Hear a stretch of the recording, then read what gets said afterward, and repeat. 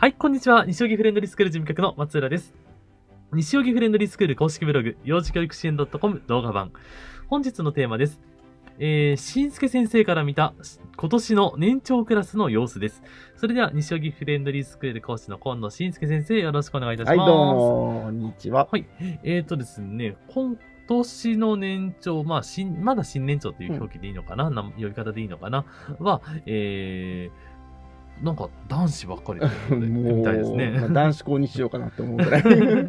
そうそうそう。割と男の子の率がね、高い年でね。うんあ、の、僕はいつも、なんだろうな、発表会の時期とかで、ちょくちょくお手伝いで上に入ることは多いんですけど、うんこの冬の時期って意外とね、あの、3階の子供たちと触れ合うタイミングが少なかったりするのでそ、うですね、例年ね、まだね、この時期は新年長どんな感じかなって雰囲気をね、あのあまり分かってないような状況なんですけど、だんだんね、関わっていくっていう感じで、そうなんですけど、い今年は男の子可愛いみたいです、ね。いや、なんか男だらけで、ううんん、可愛いですね。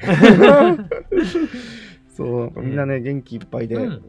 で、まあそうですね、でも、やんちゃすぎるっていう雰囲気もあんまなく、あそうなそうそうそう、うん。あのみんなね、授業の時はね、真面目に。ね、あ、ちゃんと切り替えられるんだ。うん切り替えて、しかもあのーこれはどういうことかなって言ったら、ちゃんと声出して、あの意見も言えたりもするので、じゃあ意外といい感じですね。うん、すごくいい感じかなと。ううんん、まあ、でもやっぱり、あの、調子乗っちゃう子もね、何人かいるはいるけど、でもまあ、そこまで羽目を外すようなこともなく、うんうんうん子供らしさを全開で残してる子たちばっかりなんで、いいですね。よくそのぐらいがいいですよねうん。とやっぱりうるさいですね。うんうん 元気だからまあ。男どもだからね。そうそうそう。中にね、一人女の子いるんですけど、あ、そう、一人ね、うん女の子いるけど、でも全然男の子に負けない子だから、元気な子ね強いなと思っても。そうそうそう。いやー、でも、まあ、例年ね、うんあのー大体のね、スケジュールは決まってるんですけど、やっぱりこれから、えー、発表会だ、5月、うん。6月かの発表会だったりね、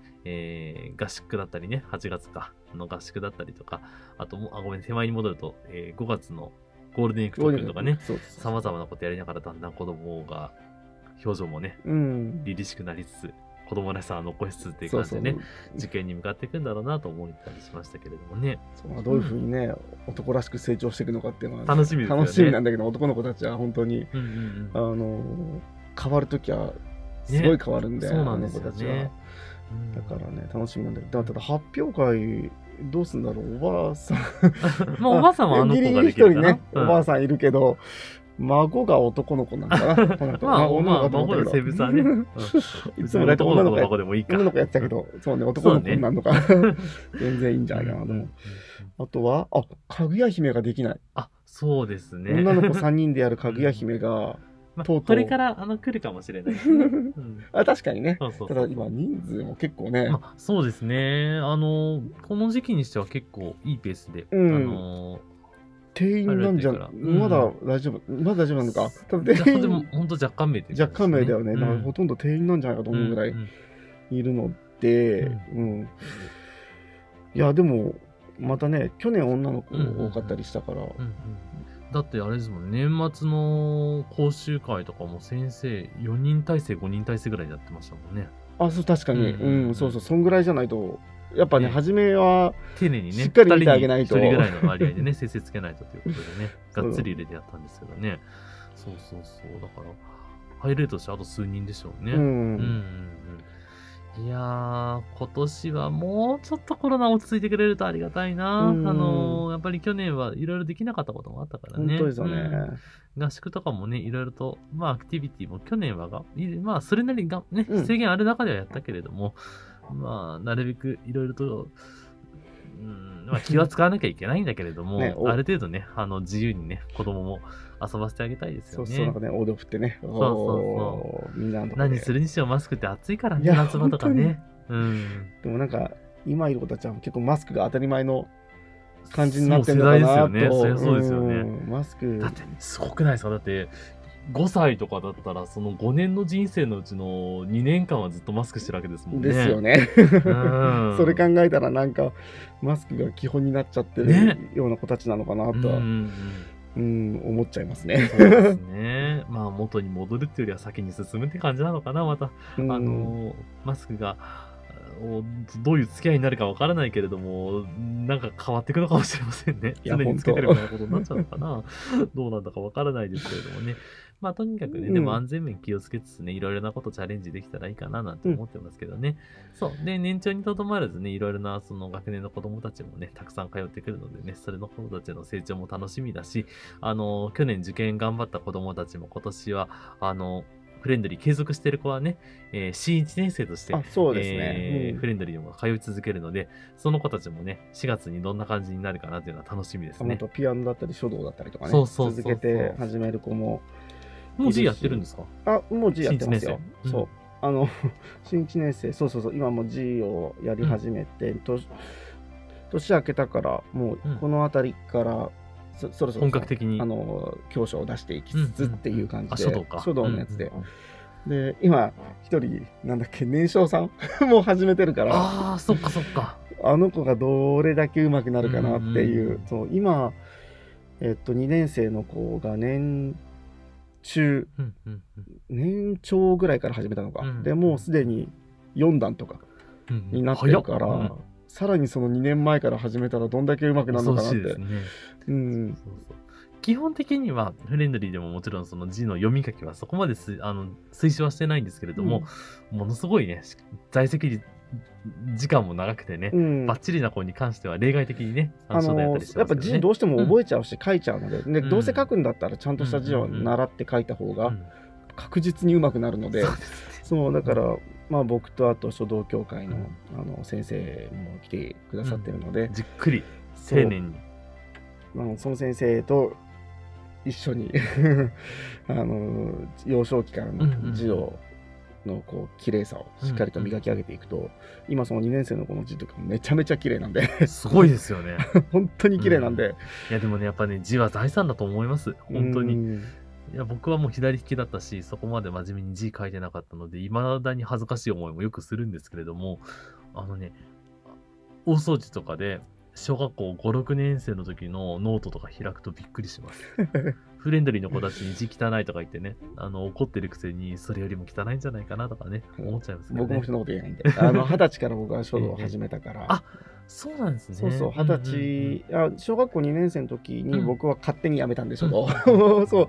だけど、弟はずっと続けてた。弟やっぱすっごい上手くて。僕はやっぱ大人になってから、再度再度始めてやったパターンなんで、名前が下手なんですよね。本本当にね、もう、一番よく使う漢字ほどねあ、そうそうそう。繰り返し間違っった書き方してるって意味ですもんね。賞をいただいた作品でさえ、ん名前が下手って、あーそうですか。好評で言われちゃうぐらい。じゃあやっぱりその入り口ってすごい大事なんですやねっ。ぱそう、身についたものってそうそう取れないらしいんで、うんうんもういまだに、もう、もう書道始めて15、6 16年ぐらいか。うんうんで、師範までいただいてますけど、課題は名前。そうなんですね。へったくそです、本当に名前が。じゃあやっぱりその新1年生で入学迎える皆さんにも、その自分の名前がね、あの覚えたての字だからって楽しくていっぱい書くんじゃなくて、丁寧に正あ、しく本当に。入りましょうというところであしょうか？のへいや字が書けるからといって、あのほっといて勝手に書かせておくとその字が一生身につくっていうのは、うんうんあの自身で体験してうんます。なるほどね。そうですね。字書き始めるんだったら間違いなく綺麗なうん。あの字を教えることとあと鉛筆の持ち方そうですね。あのー、げんこつみたいにね、握ってる書いてる方いやーほんあの、街中で見かけたりしますけれどもあね。の 僕も二十歳で持ち方を直したんであそうですか。ううんんあのやっぱ真面目に字を習って字を書いた時に変な持ち方じゃ絶対書けないってことに気づいてうんうんうん直しました。でも、初めからね、ちゃんとした持ち方すれば直す必要もないよということですよね。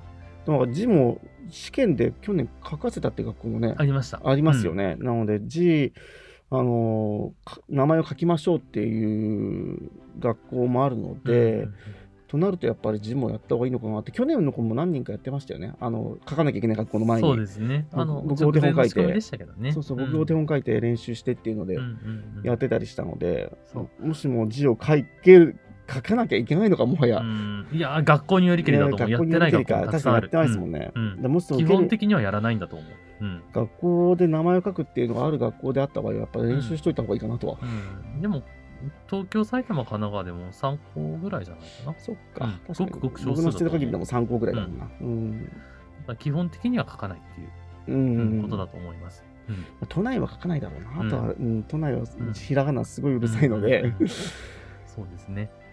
ということでね、まあ、なので、その、何歳から始めましょうという話よりは、スタートだよね。あの、うんめちゃめちゃに練習するっていうよりは、スタートは正しく丁寧に。そうそうであの、ん初めはちゃんとやった方がね綺麗に後が楽になるそうですね。ちょっと、あの、根気のいる作業だと思いますけれども、その辺は大事にということですね。はい。うんえー、ということでね、今年も、あのーコロナウイルス等が落ち着いていればのよ前提ですけれども、基本的にはね、通常通りでね、うんいろいろと挑戦できたらいいかなと思ってますのでね、あの、その時の気づきもね、YouTube でいろいろ配信していきたいと思うので、よろしかったらまたお付き合いいただければと思います。はい、よろしくお願いしますありがとうございます。はい、えーでは教室からのお知らせです。えっ、と、フレンドリスクールでは子育て幼児教育相談会を平日土曜日に行っております。体験授業も受付中、1歳6ヶ月から年長さんまでお待ちしております。連絡先です。電話番号が0333900750番。メールアドレスは info.friendly-school.com です。教室では引き続き小学校受験、幼稚園受験、海外での教育、英語教育など幅広いテーマでお話をしてまいります。よろしければぜひチャンネル登録もお願いいたしますということで本日も最後までありがとうございました。それでは失礼いたします。